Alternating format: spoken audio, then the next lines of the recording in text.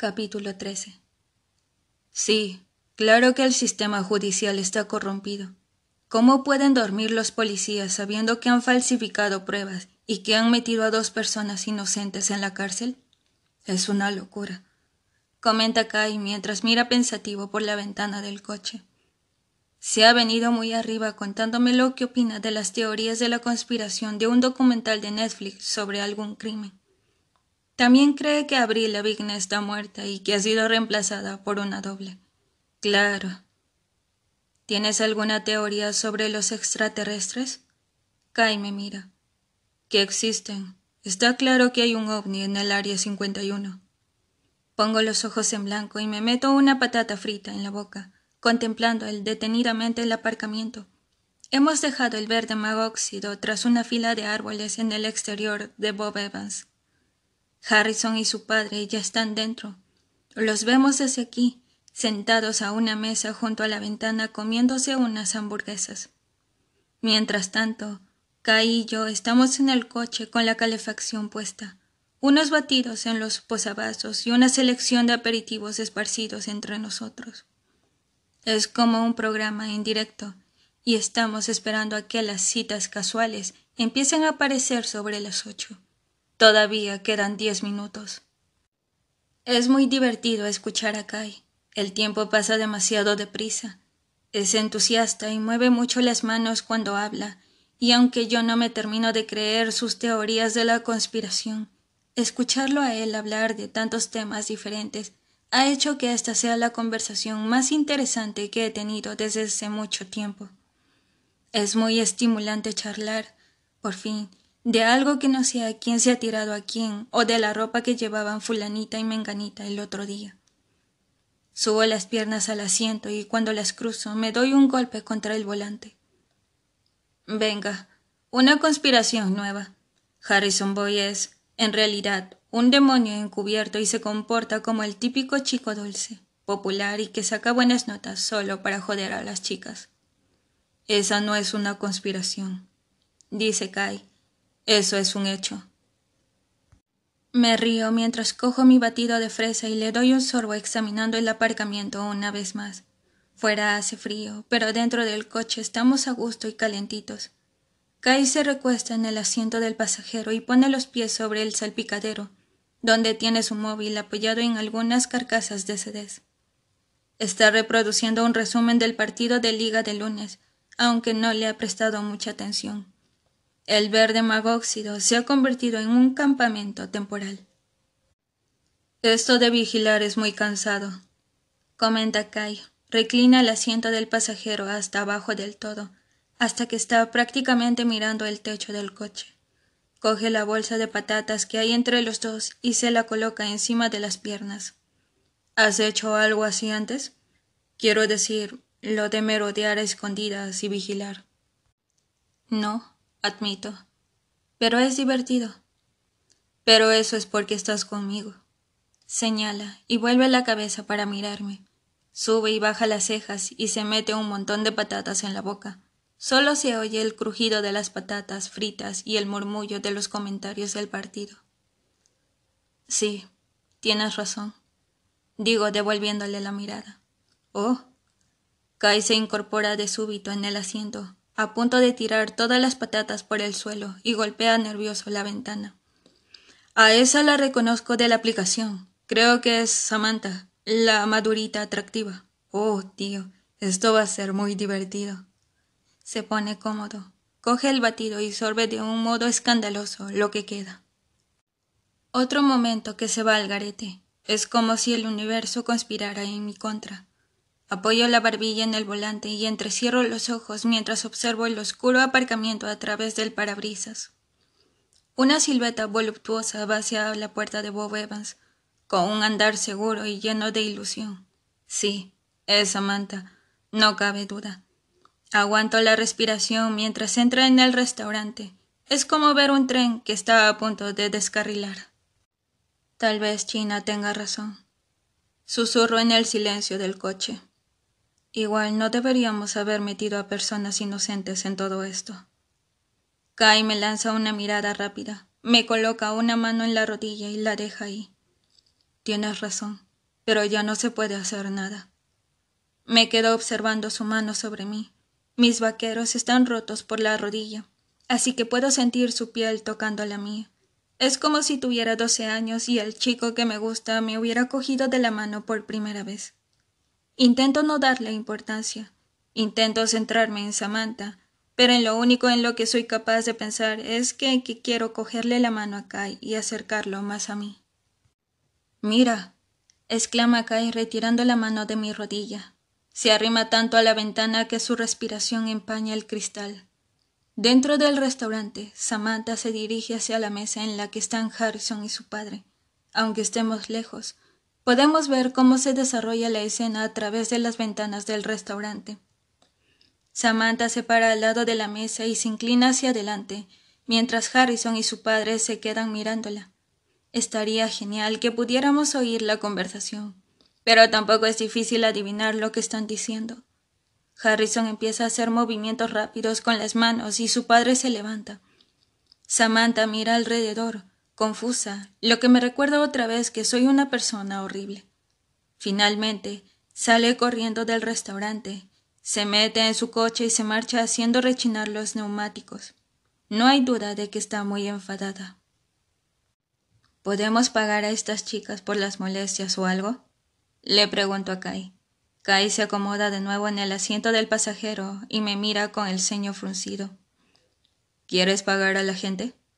Yo me encojo de hombros y él me sonríe con amabilidad. Vale, Nessie. Luego les mando un mensaje pidiéndoles disculpas, pero no creo que tengamos que darles una ofrenda de paz. Mira, creo que ahí llega otra. Vuelvo a mirar a través del parabrisas y, efectivamente, una silueta con unos pitillos negros y flequillos se acerca a la puerta del restaurante. Debe de ser Raven. Es como una repetición de los últimos minutos. La chica emo se acerca a la mesa. Harrison se enfada y hace gestos con las manos hasta que a Raven no le queda otra que salir de ahí, sacándole el dedo. La tercera cita aparece justo después y pasa exactamente lo mismo. Solo que esta vez Harrison se levanta de la mesa, como si fuera a empujar a su cita, pero no hace falta que se lo digan dos veces. Kai no para de meterse patatas en la boca, como si estuviera viendo un combate de lucha libre en la televisión. Mierda, están saliendo, dice y se encoge en el asiento para que no nos vean. Harrison y su padre se van corriendo del restaurante, cruzan el aparcamiento hasta llegar al BMW de su padre y, por el lenguaje corporal de Harrison, es más que evidente que está muy avergonzado. No creo que sea muy divertido que te interrumpan en mitad de la cena varias veces unas desconocidas que quieren liarse contigo. Pero de eso se trata precisamente. Harrison Boyd ya no puede volver a divertirse. El BMW sale a toda velocidad del aparcamiento y desaparece por el centro del Westerville. Seguro que está bochornado. Comento y me incorporo en el asiento y a saber lo que piensa su padre. Bien, dice Kai. Saca su cuaderno y un bol y tacha la tarea de la lista. Hemos rajado las ruedas de la camioneta de Kai, hackeado su teléfono y mandado a tres chicas aleatorias a buscarlo para pasar un buen rato. Mañana por la noche entramos en su casa. Lo miro extrañada. Entrar en su casa me parece llegar demasiado lejos. ¿Lo decías en serio? Claro. Kai imita mi expresión y aparta el cuaderno. Ven de nuevo vestida entera de negro, con la chaqueta esa de cuero que te pones a veces. Te queda bien. Kai. ¿Qué? Muevo los labios, pero no soy capaz de articular palabra. Lo que quiero decir es Kai, igual esto es un poco raro, pero me gustas mucho. Deberíamos irnos, digo en su lugar.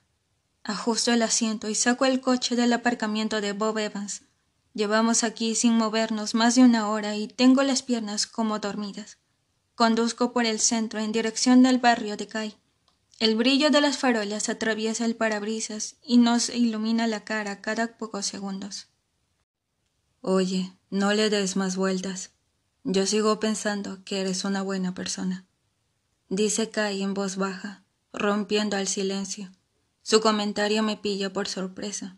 ¿Es tan evidente que me siento culpable? Me conoces desde hace tres días, replico con una sonrisilla. Tres días que parecen una eternidad. ¿Cómo puedes saber si soy o no soy una buena persona? Creo que todos somos buenas personas, incluso Harrison, a pesar de lo idiota que es. Me explica Kai. Pero todos hacemos cosas malas. ¿Y con qué frecuencia haces tú cosas malas? Tengo la mirada fija en la carretera, pero aún así puedo percibir la sonrisa tímida de Kai. No tan a menudo. Lo que pasa es que tú eres una mala influencia. Oye, doy un volantazo. Fuiste tú el que se me acercó cuando estábamos en la administración. ¿Te acuerdas? Si aquí hay alguna mala influencia, eres tú. Kai me sonríe con un brillo en los ojos. Me está costando concentrarme en la carretera. ¿Y te alegras de que lo hiciera? Bueno, no eres tan malo.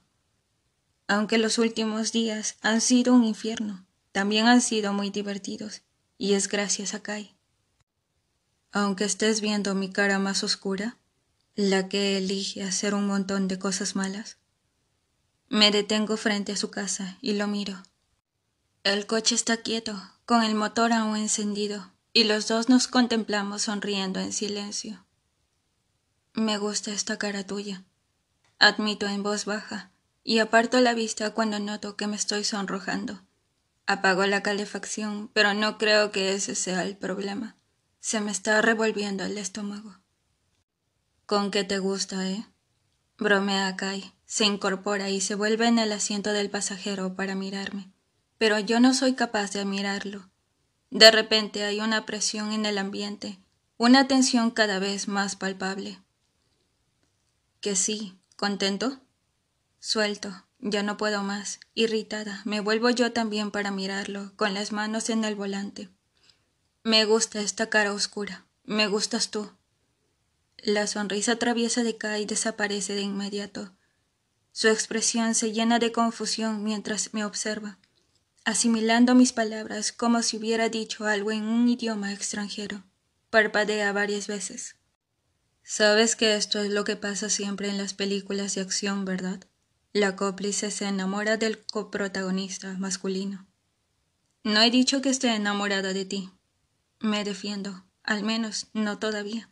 Pero a este ritmo puede que el lunes ya esté enamorada de él, aunque Vanessa Murphy no se enamora. Todavía, dice Kai, dándole voz a mis propios pensamientos, como si pudiera leerlos. Me guiña un ojo y me coge las manos, apartándolas del volante. Tiene la piel cálida. Ya verás cuando conozcas mi cara buena. Soy todo un caballero. La mirada penetrante de Kai me atraviesa mientras me levanta las manos y me besa los nudillos.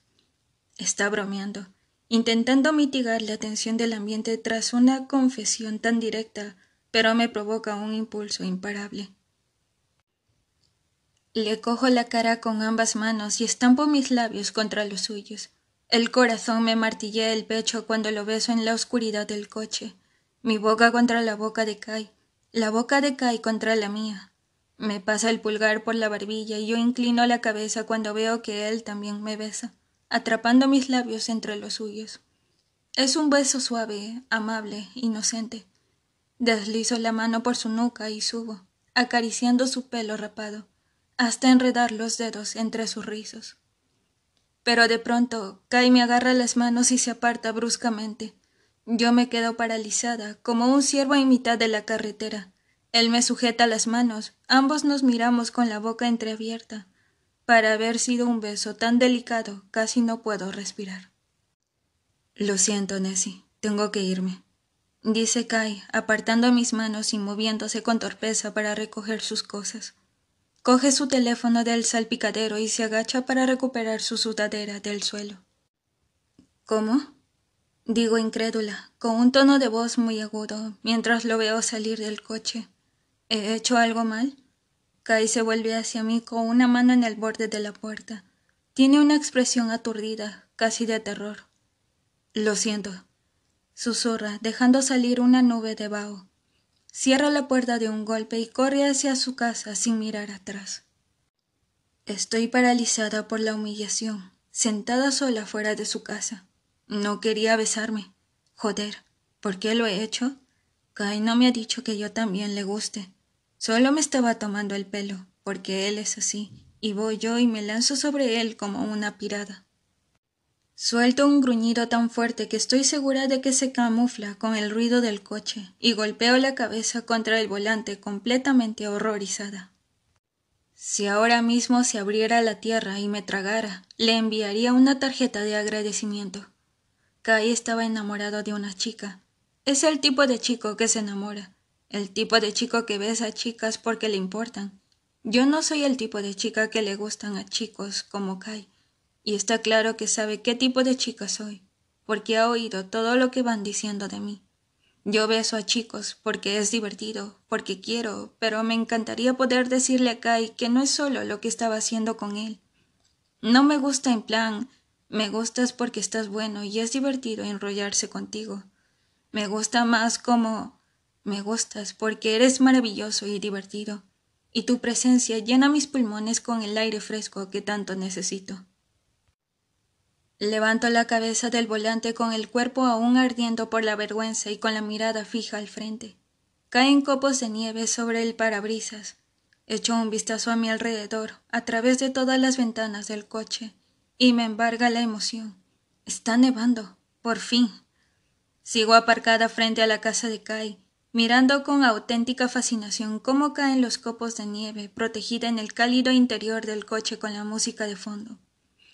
La nieve es lo que más me gusta del mundo. Empieza con unos finos copos cayendo lentamente y se va intensificando hasta que me encuentro atrapada en mitad de una tormenta de nieve. Los limpiaparabrisas no son lo bastante rápidos como para, de hecho, mantener limpio el parabrisas.